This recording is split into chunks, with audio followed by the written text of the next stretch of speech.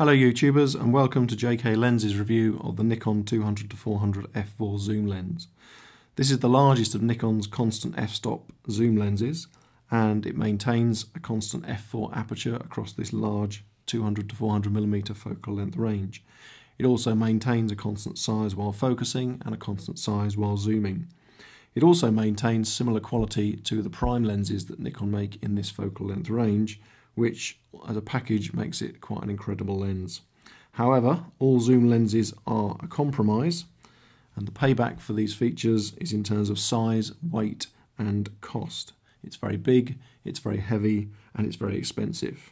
If you don't need prime lens quality, if you don't need the constant f4 aperture, there are other lenses from other manufacturers uh, with the Nikon mount which will do the same job for you at a much smaller size and a much lower price.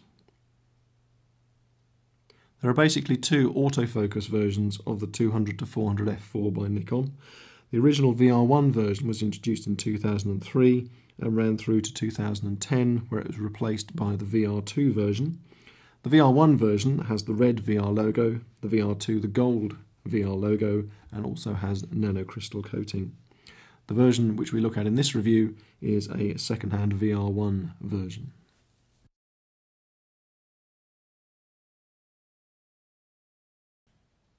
Specification plate tells you part of the story behind this highly specified lens. It's an AFS lens using Nikon's silent wave motors to focus the lens, rather than a screwdriver blade attachment from the camera body.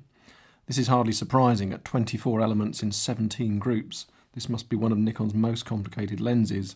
It's hard to see how any camera body could focus it mechanically.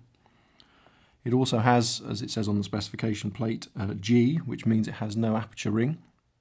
The aperture set electronically by the camera, which means some of the earlier Nikon camera bodies won't work with this lens. Four of the elements are made of ED glass, Nikon's extra low dispersion glass, as it shows you on the spec plate. The lens also has Nikon's VR or vibration reduction. The version featured in this video is a VR1 model, uh, which Nikon claim allows you to shoot at three stops slower than normal hand-holding speeds.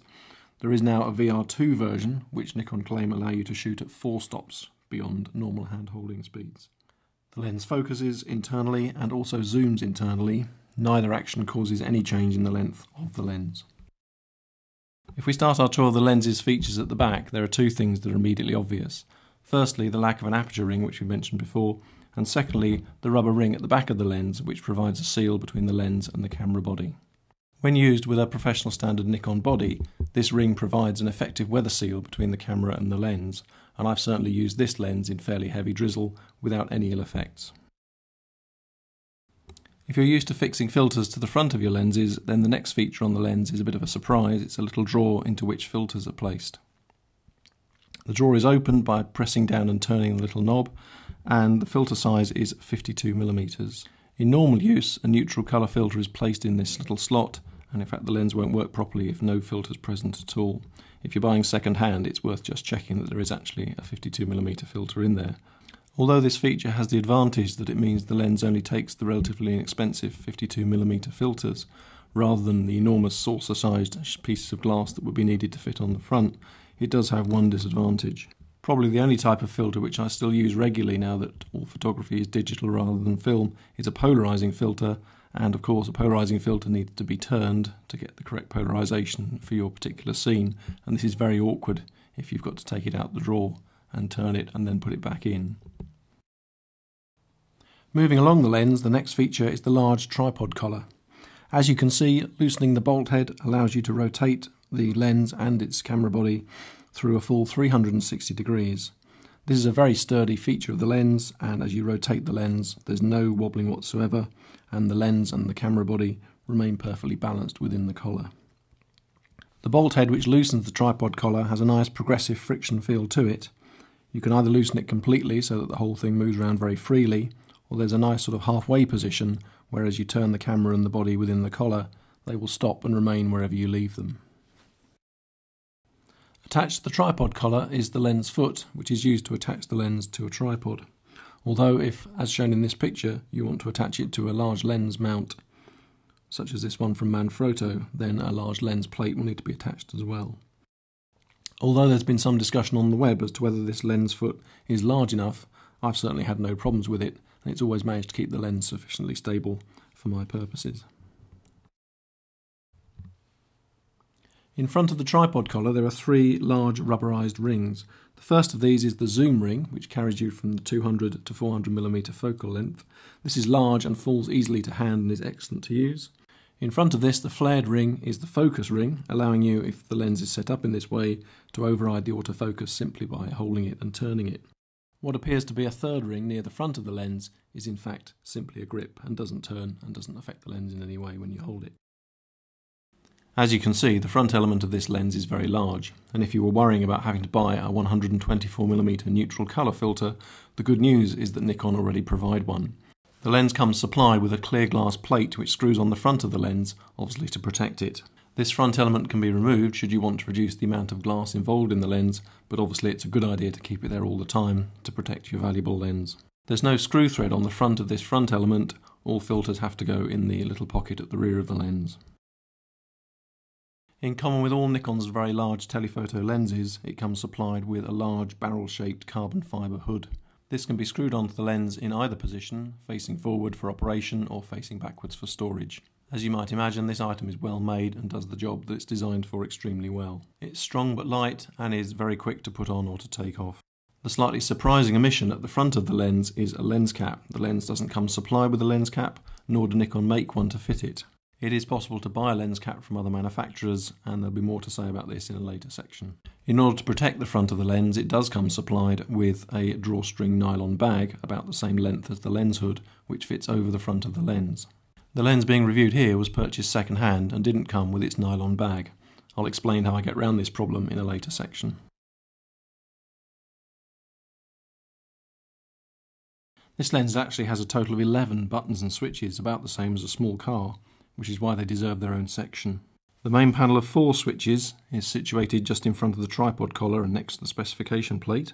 Working from the top, the first of these switches basically selects between autofocus and manual focus.